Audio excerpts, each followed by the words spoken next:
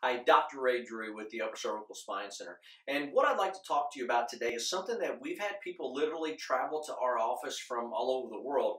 And that's for a, a, a condition that's become a lot more aware lately with the advanced imaging, and that's called a Chiari malformation. So if you searched and you found this uh, this video or this blog, then more than likely you're familiar with Chiari malformation.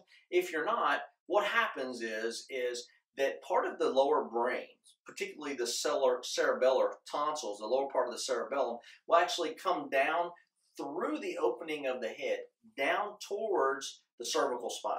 Now, medicine's approach to this is they see the effect, which is the brain being pushed down through the foramen magnum, through the opening. So their approach is to go in and actually remove the bone around the brain, brain stem, upper part of the neck. And they literally surgically will remove the bone so that the bones now do not put that pressure on the uh, cerebellar tonsils and the lower brain.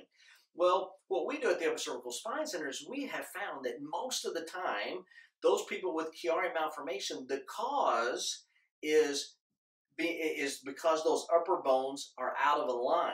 Now, the misalignment isn't necessarily what's causing the pressure on the brain, brainstem, tonsils, but that's what's created the whole pushing down of the brain anyway. So this is what happens. So through the top two bones in the neck, around the head, we have something that's called the dura mater, and it is basically a sac that goes inside the skull, comes out and around the brainstem, goes around both the top two bones. And when those bones get misaligned, they'll actually twist, and it's like twisting a bread bag around the brainstem. Well, the cerebral spinal fluid is produced in the middle of the brain. So it's produced in the brain. As your brain produces more and more fluid, it circulates down through the spinal cord, and that sac goes all the way down. Well, if one of those bones are misaligned and squeezing down and closing off that bread bag, the brain's still producing cerebral spinal fluid, but it doesn't have anywhere to go.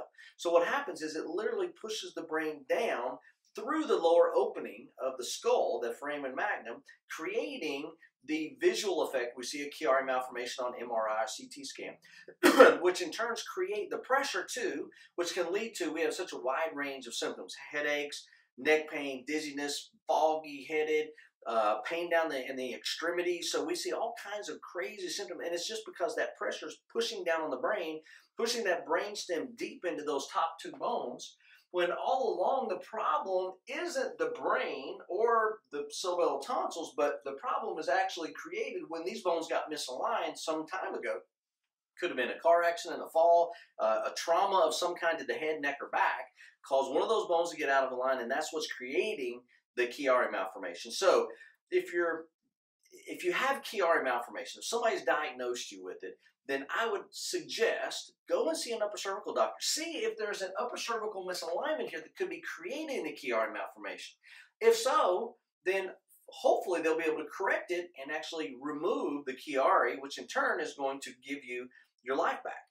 Uh, I would absolutely suggest this before doing anything invasive like surgery. I've had some post-surgical patients uh, that were in much worse shape after the surgery than beforehand. So if you've been diagnosed with a Chiari, Find an upper cervical doctor near you. If you live in the Charlotte area, anywhere in North and South Carolina, our office is the office for you. Give our office a call at 704 588 5560 and let's check and see if your Chiari is coming from an upper cervical problem that we can correct.